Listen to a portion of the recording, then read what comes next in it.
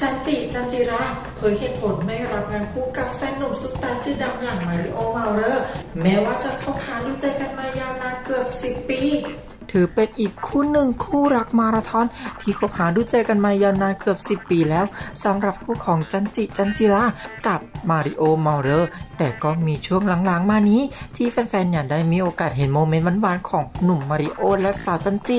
เกี่ยวกับเรื่องนี้สาวจันจิเนี่ยก็ได้ออกมานั่งพูดคุยในรายการแฉพร้อมกับเราเส้นทางรักกับแฟนพระเอกหนุ่มว่า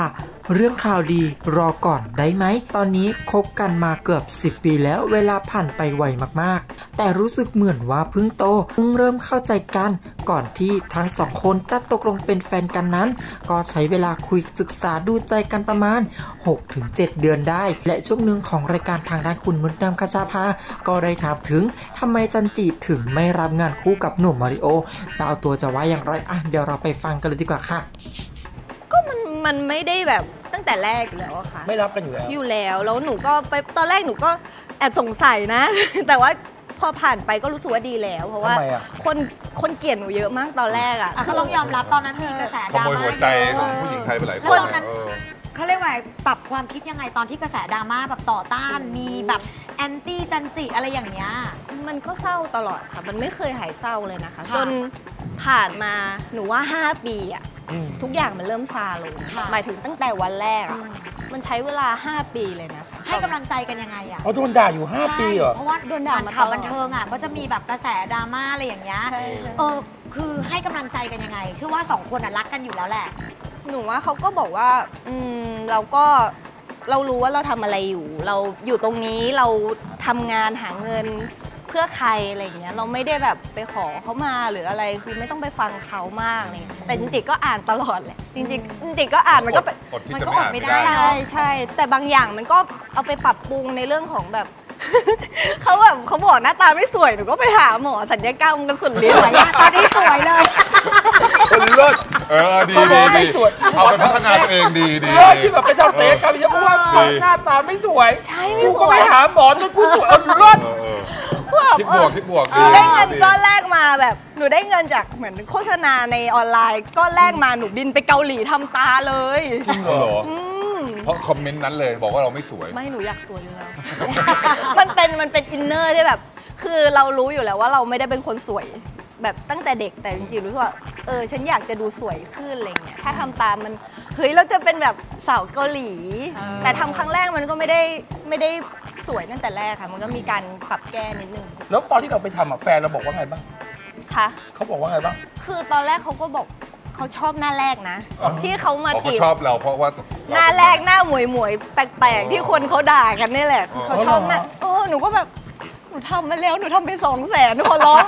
ชอบตาหนูชอบตาเดี๋ยวเถอะได้ไหมพูดกับเขาอย่างนี้เลยเหรอเข้าใจพูดกับเขาแบบนี้เลยเหรอเขาพูดตลอดเขาคือเขาชอบตา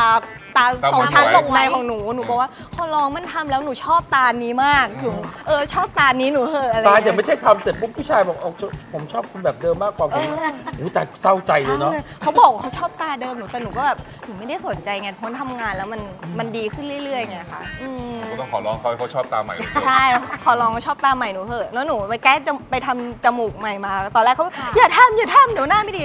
ล่าสุดคือมันทำแล้วโอเคเขาก็ไม่พูดอะไร ถามว่าดีไหมเขาบอกเขาเริ่มชินกับการทำของเราแล้วไง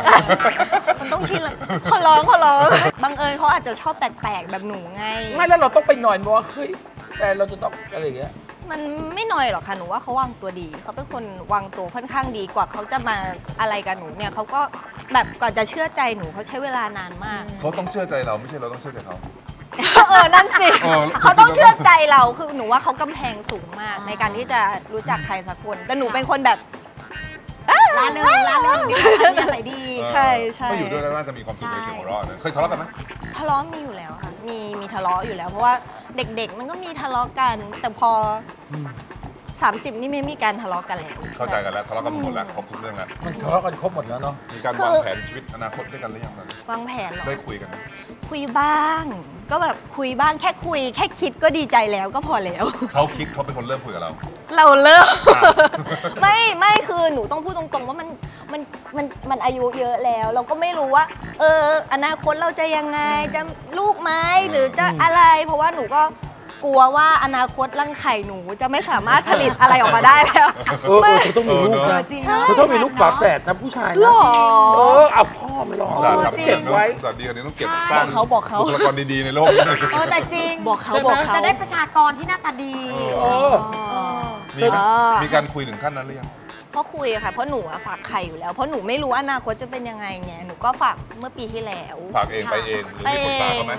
ไปก็บอกว่าจะไปฝากนะเขาบอกโอเคแค่เนี้ย อ๋อ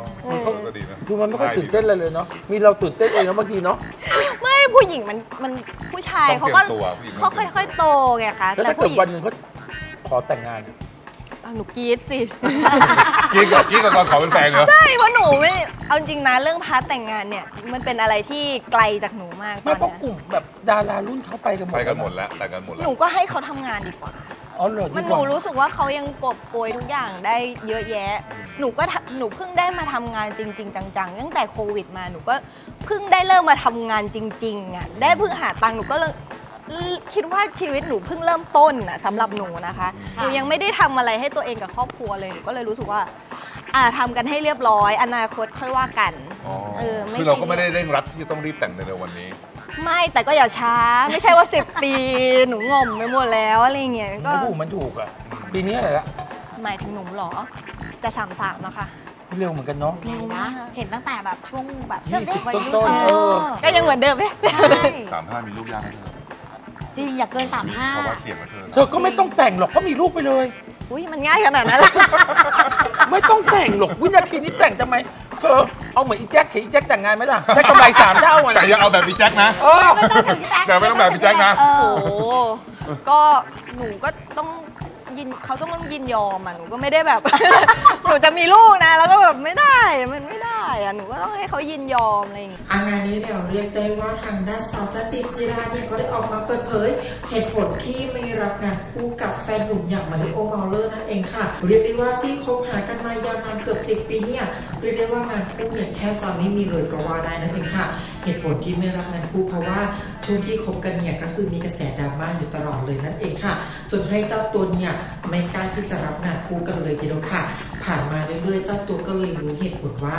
ที่ไม่รับงานคู่เนี่ยก็เพราะอะไรนั่นเองค่ะ ด้วยความที่มีชาวเน็ตบางคนเนี่ยก็แอบแซวว่าหน้าตาไม่สวยไม่คู่ควรกับหนุ่มมาริโอนั่นเองค่ะทำให้เหตุผลนี้เนี่ยก็เป็นอีกเหตุผลหนึ่งที่ไม่รับงานคู่ แต่ก็ดีแล้วนั่นเองค่ะ แม้ว่าจะไม่รับงานคู่ แต่ความรักของทั้งคู่นั้นต้องเรียกได้ว่ามาราธอนสุดๆเป็นคู่และอีกคู่หนึ่งที่เป็นคู่รักมาราธอนที่เขาหาด้วยใจกันมายาวนานเกือบ 10 ปีกันเลยทีเดียวนะคะแม้ว่าข่าวดีเนี่ยอาจจะยังไม่มีในเร็วๆนี้